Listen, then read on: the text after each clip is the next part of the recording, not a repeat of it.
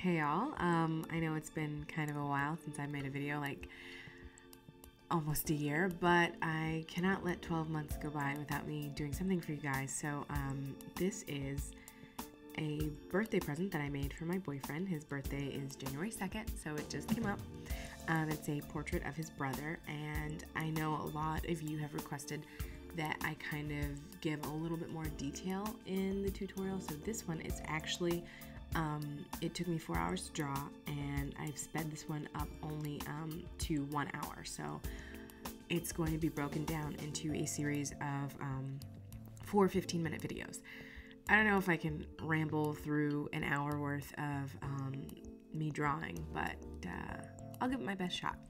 So right now I am sketching out the um, the portrait. I started this. Um, I wanted him to be able to print it out uh, as large as he wanted. So the document I set up um, is 300 dpi, and the uh, width is 24 inches, and the height is 36 inches. So it is incredibly large, um, which kind of makes things uh, slow up a little bit, but it's not too bad. I have recently upgraded my hardware from I I used to use a Wacom Wacom however the however the fuck you say it um, Bamboo Fun and I have gotten a Cintiq over the past couple of months. So um, this is my first video using the Cintiq. It makes it a lot easier um, to control what I'm doing. I haven't found that my skill has improved that much but that's basically because I haven't been drawing as much as I as I should and I've been working too much. It's not, you know, the hardware that makes the artist. It's practice, practice, practice. So um, the Cintiq definitely makes things uh, a lot easier, a little more intuitive from the with the hand-eye coordination. So I don't know how much of the drawing you want me to explain, but I know sometimes people want to see the sketching process. So here it all is laid out. Um, when I'm sketching a, a, photo from reference or a picture from a photo reference, um, I try to pay attention to not only the lines but the shapes. You want to look at um, distances between features and not necessarily uh, focus solely on, you know, this is the outline of the ear, this is where the ear should go.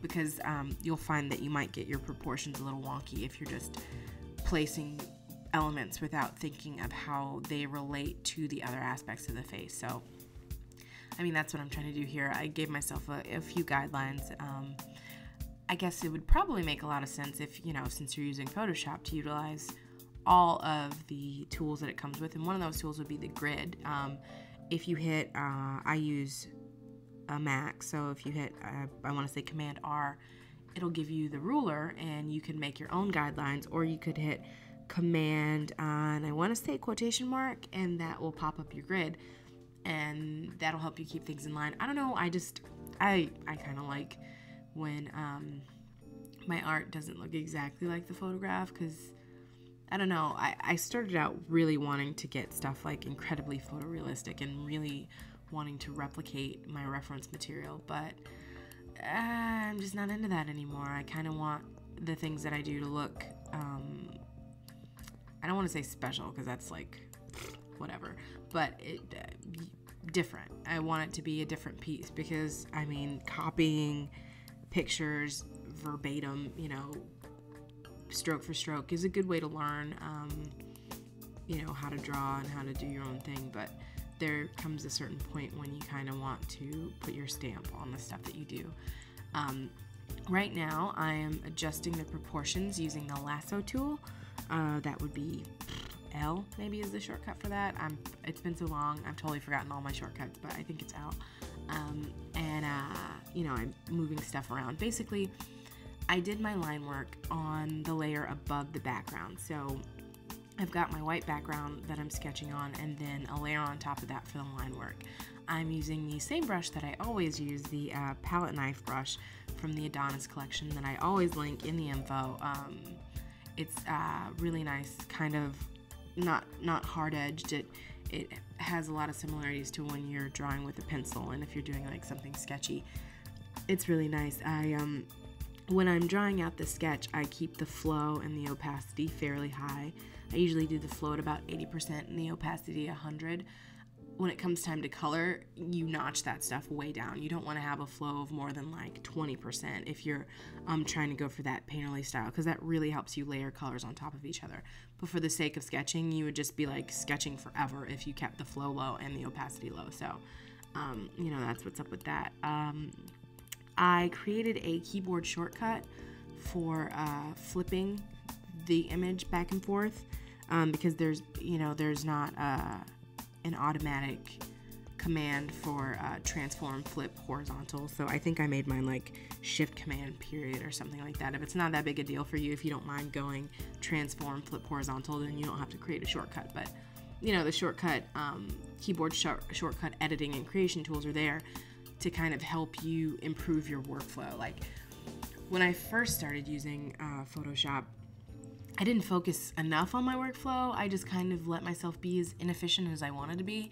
And I've gradually learned, you know, to pay attention to your shortcuts um, and to uh, get your your workspace organized properly. You can save your workspace so that you know if you know that you always need your layers palette open and your um, swatches palette. You know, you can save that workspace and, and make sure that everything is exactly where you need it to be so you're not always opening stuff up and tweaking stuff and whatnot. So um, I colored the background uh, like a, a warm a warm tan uh, color. I, uh, I wanted to make the skin tone in this piece really warm and kind of use also a blue tone for the shirt to kind of do a blue brown sort of uh, situation. I like the way that that those two like an orangey brown and blue looks together and they're they're fairly com- complementary colors and so you know it looks really good together. I'm doing something differently um, than I used to do in my old videos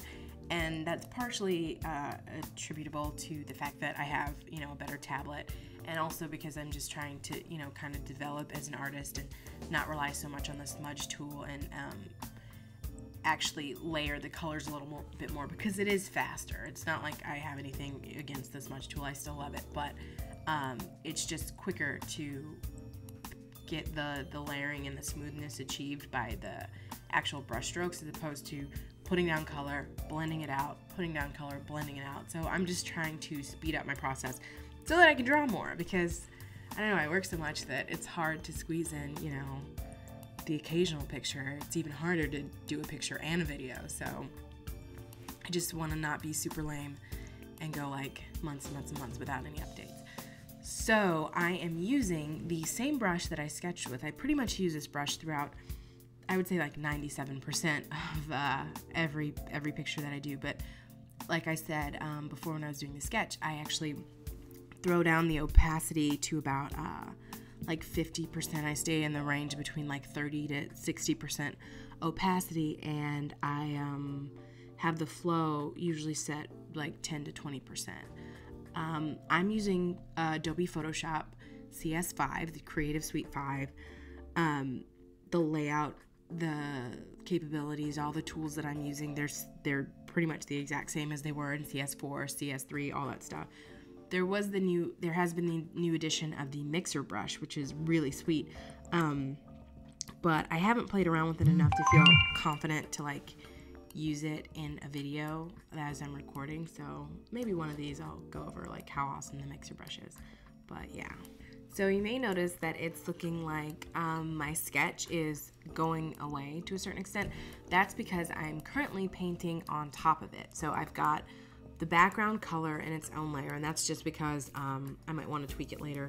And then on top of that, I've got the rough sketch, and then on, on a, in a layer on top of that, I'm actually laying down the color. So eventually, um, all the color that I put on top of the sketch will cover it up, basically. But um, this, doing it this way, like painting on top of your sketch, lets you keep some of the lines that you want to keep, like, and just refine them a little bit while uh, painting over, you know, what you think needs to go. So um, I'm trying, um, I'm trying all kinds of different things in this uh, this portrait, but instead of adding an overlay layer at the end and um, tweaking the color, adding pinks and uh, extra saturation and whatnot to the colors after the fact, I've been trying to uh, get a little better at mixing the colors, um, you know, straight up. So results not not too unfavorable. So we'll just you know keep trying to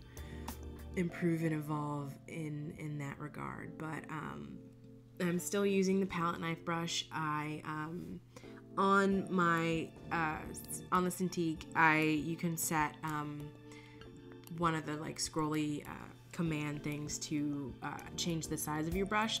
So you might not see the brush menu popping up as I'm changing the size of it, but um, I keep I'm continuously making the brush bigger and smaller to uh, suit whatever I'm trying to do at the time. So might not see that happening, but it is. I'm not really changing the opacity that much. It's staying in general pretty low because the easiest way to just get uh, a harder, you know, a, a stronger amount of color is to make your brush size smaller and to push harder. I, I mean, that pretty much does it. Even if you're using like uh, bamboo, it still has, um, I want to say like 512 levels of sensitivity. So you just really want to make sure that you um, use a really soft touch when you're when you're trying to layer colors on top of one another and get a nice blend. But you know, if you want a hard line, you just push harder, and uh, you know that takes care of it. A good shortcut to use to make your brush larger and smaller um, are the left curly bracket and the right curly bracket or straight bracket, whatever. Um, left curly bracket makes your brush size smaller, right curly bracket makes it bigger. So, you know, and then as you know, the minus sign um, or the minus key, the plus key, zoom in and out, and all that good stuff. So, if you don't know at least some of the shortcuts, if you don't know the shortcuts for the tools that you use the most or the commands that you use the most, um, I would strongly, strongly advise that you get familiar with that stuff because it really does help. Like, I don't know, you don't realize the value of speeding up your process until you actually start doing it. It's like, holy crap, I was being retarded before, but now I'm not. So, you know, it's cool.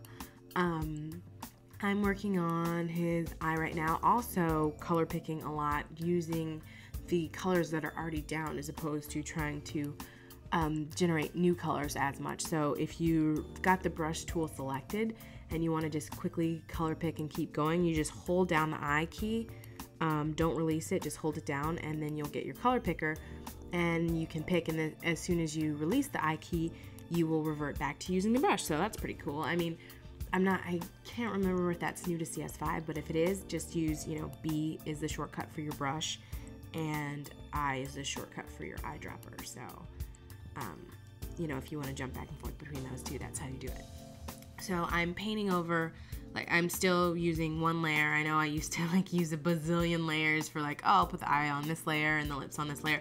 And if that's, you know, if that's something that you need to do, like that is totally fine. You know, I think that however, you know, however you achieve the results that you need, like use 50 layers of painting and use the smudge tool repeatedly. It's all, you know, it's all about your process. And I'm just, I'm continuously trying to figure out the best way to do this for me, like the the, the fastest and you know how to get the results that I like the most because I know what I like and you know I try to get there and and whatnot. And um I don't know I, I I'm continuously checking out YouTube and DeviantArt and just the internets in general and trying to figure out how other people you know do their thing so that I can kind of take the lessons that might improve my process and kind of throw out the crap that I'm like, nope, that's you know that's not gonna work for me. But but um, it's all about you know finding your stride and and uh, and sticking to it. So I'm gonna cut this first video off. Um, yeah, it's almost 15 minutes, and uh, I'll see you for part two. Um, that's pretty much it. Sorry for rambling, and you know if you don't want to watch this whole thing, ah, don't